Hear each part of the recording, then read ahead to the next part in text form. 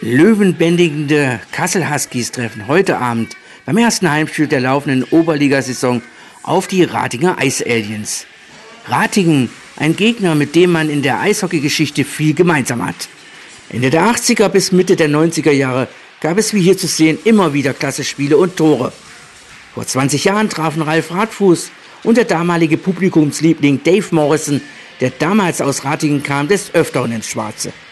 Heiße Duelle in der zweiten Bundesliga Nord mit fast der gleichen Beteiligung. Vereine wie Essen, Duisburg, Nauheim, Ratingen und Kassel kreuzen auch heute wieder die Klinge in der Oberliga West.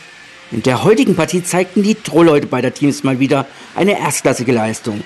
Fuß rettet hier gegen Lenz Monich und auf der Gegenseite war es immer wieder Marc Dillmann, der die Huskies schier zur Verzweiflung brachte. Alex Heinrich, Peter Sikora und Michi Christ brachten die Scheibe nicht im Gehäuse von Dillmann unter.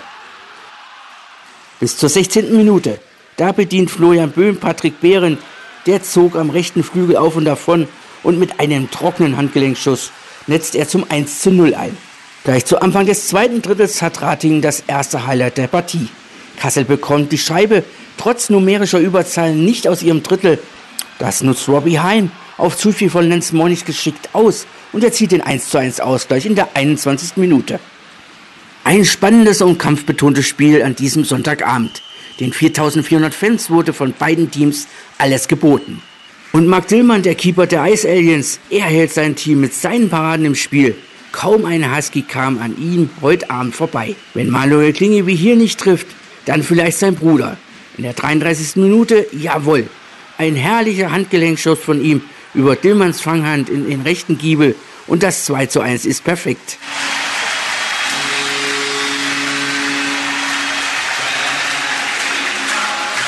Es sind nur noch wenige Sekunden im zweiten Drittel zu spielen. Da meldet sich Ratingen noch einmal zurück.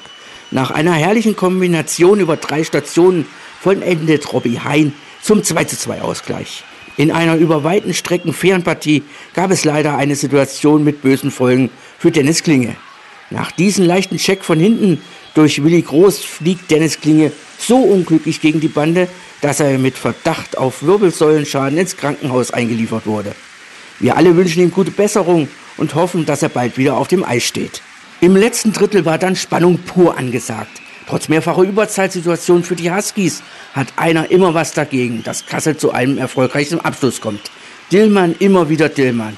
Vier Minuten vor Ende der Partie Überzeit für die Huskies. Jamie Bartman nimmt die Auszeit und gibt letzte taktische Hinweise. Die Huskies gewinnen das Bulli. An der blauen Linie steht Stefan Robitail. Der zieht trocken ab und Tor. Dillmann ist bezwungen. 3 zu 2 für die Huskies. Riesenjubel im Husky-Zwinger. Reicht das heute Abend? Sind das wieder drei Punkte? Ratingen versucht nochmal alles, nimmt Dillmann vom Eis für einen weiteren Feldspieler. Sechs Sekunden noch zu spielen. Ratingen gewinnt das Bulli. Schuss aus Tor von Fuß. Der wehrt die Scheibe zur Seite ab. Arthur Tegajew mit der letzten Chance und das Spiel ist aus. 6 zu 0 Punkte und 6 zu 4 Tore am ersten Wochenende. Eine beeindruckende Leistung der Kassel Huskies, die damit die Tabellenführung in der Oberliga West übernehmen. Ein klasse Spiel beider Teams. Nächsten Freitag ist für die Huskies spielfrei und am Sonntag geht's dann um 18.30 Uhr gegen den Herforder e.V.